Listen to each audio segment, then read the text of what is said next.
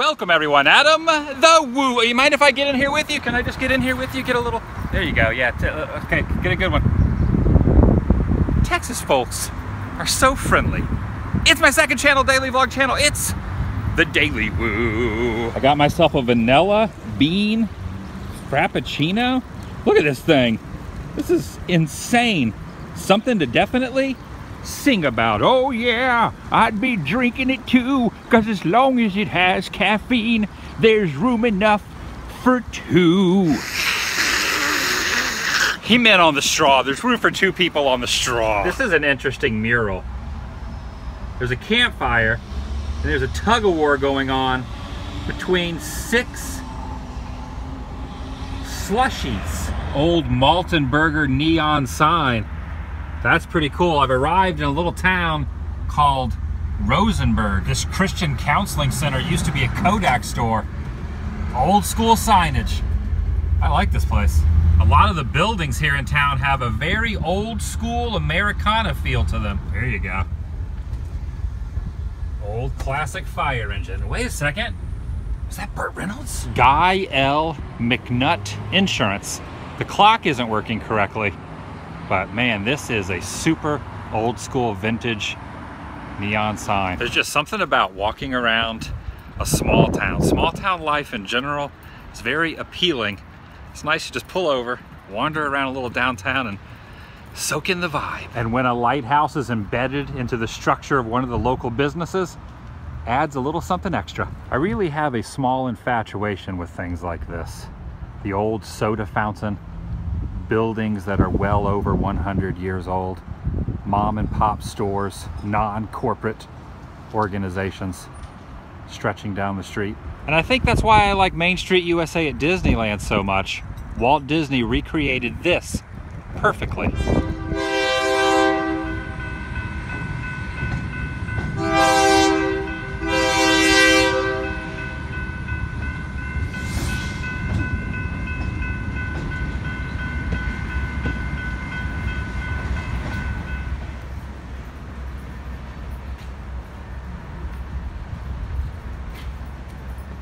so cool.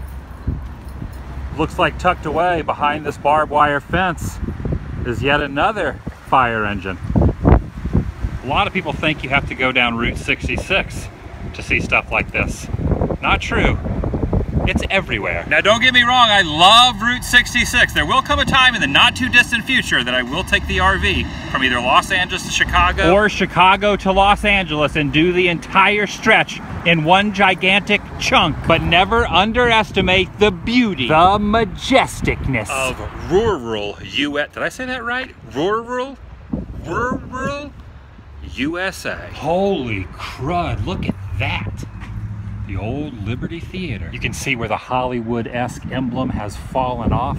The marquee used to be mounted on these steel beams right across here. And as typical for movie establishments of that era, there is a painted decorative walkway on the entryway in. And look, right through here, the boards have been broken off and you can see the original tiling there as a remnant. The snack bar there to the left and the stairwell leading to the balcony over there in the corner. I would love to get in here, but it's locked. One thing I've noticed recently is that every laundromat I pass here in Texas is not called that. It's called a washateria. At first I thought it was just a clever name for one or two establishments, but every one of them is called that.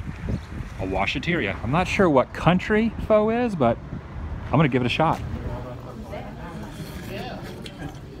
Hot. Mission accomplished. Check that out. That takes a tree stand, I guess for deer hunting, to a whole new level. It's mobile. There's a new one. Stop and buy. But it's spelled B-Y-E like stop and goodbye. Shouldn't it be B-U-Y? Or is it just a clever play on words? Oh, that's what it is. It's a clever play on words. I just stopped and now I'm saying goodbye.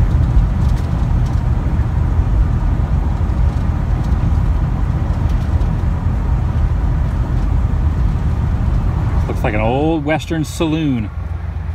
The Roosevelt Lodge Cafe and Gift Shop. Now closed. Looks like at one time quite the storm rolled through here. Ripped the awning off that gas station. The name of the area is Kendleton, according to the water tower there. I thought I could get back on the interstate by going down this road. I was wrong. It's just a complete circle. It's just a turnaround that takes me back to the last off-ramp. It's a little unusual. You don't normally see that.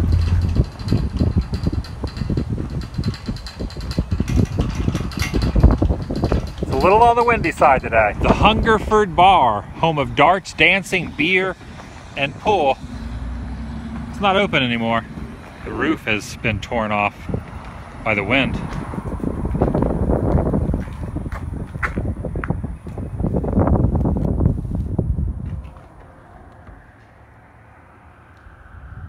Could definitely picture Patrick Swayze being a bouncer in here. Rusted out old school Citgo logo.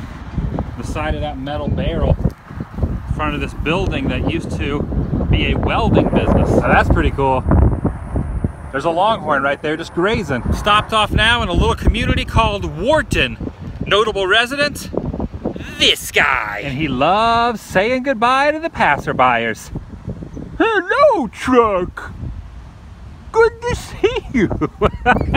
this is a historic recreation of a Pee-wee moment. Large Marge, dinosaurs, Cabazon, California.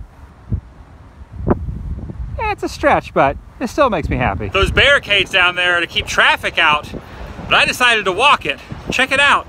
I'm underneath this awesome old school bridge. They don't make them like this much anymore, that's for sure.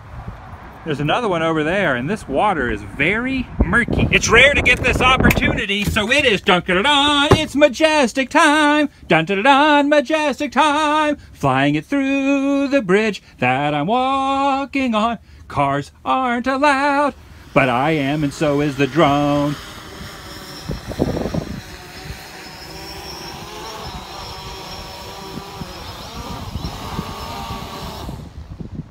It is incredibly windy out here. Tonight, are you ready for this? Finally, for the first time in my life, I am going to sleep in a teepee. Look at these things. Incredible. For years, I've always wanted to do this. And it's time.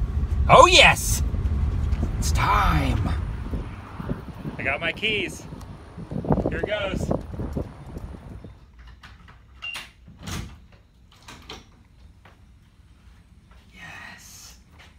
Yes. this ain't the Ritz Carlton, but it has a bed, it has a shower, a sink, a toilet, a couch, a table, a refrigerator, a microwave.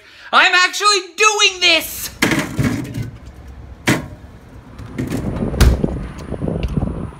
Oh, it's windy out here. This will also give me a chance to get out of the RV for a night.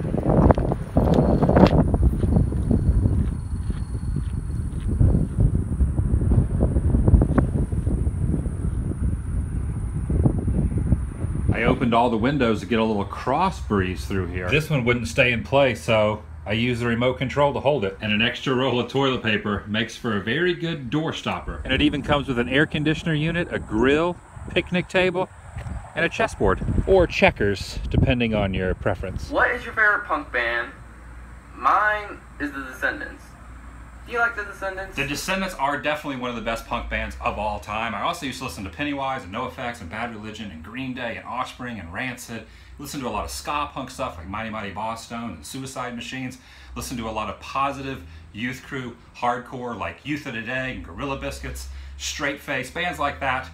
Now I kind of just listen to whatever. The interesting thing is I ended up playing in one of my former favorite punk rock bands, Guttermouth, for a few years and I'm still really good friends with all those guys, so pretty cool. I noticed that you wear a lot of different types of t-shirts, so do you have a favorite? I do have a serious collecting problem when it comes to cool t-shirts. In fact, I got one from this location, which you will see in a future video. As far as my favorite goes, I have an old Mickey Mouse shirt somewhere. It's either at my sister's or at my mom's in Florida that says Florida across it. It's like a really rare Walt Disney World shirt. You probably seen me wear it in the past. I don't really, now that I think about it, where the heck is that shirt? I have something that is a lot better than your RV or any drone that you could fly. I have a tank, a real life tank. No way. I was able to find the tank that I drove when I was in the Austrian army back in Graz. Are you serious, If you Arnold? come to my house, we'll make a trade. Yeah, all You can drive my tank, and you can crash things, and I will fly the Majestic up in the air. That's and I amazing. can film for the video for the blog, Yes. and you can do a shout out, or perhaps you can do a voice comparison with me, Yeah. and I can say, let out some steam on it. And then you can look into my eyes. No. And see what's in there. Yeah, I love it. Peace out, Adam. All right, see ya. starting to get the feeling that I'm the only one staying here.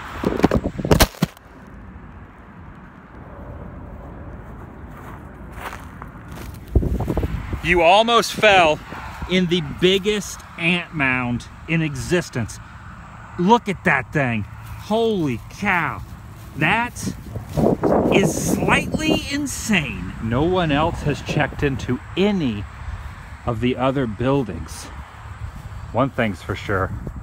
If I see a guy wandering around here that looks like Norman Bates, I'm gonna TP my pants.